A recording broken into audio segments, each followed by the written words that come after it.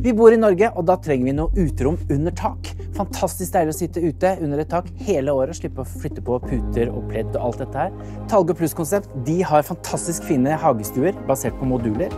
Du kan gå inn på nettet, så tegner du din egen modell, din egen versjon, eller du kan ta en som er ferdigbygd allerede.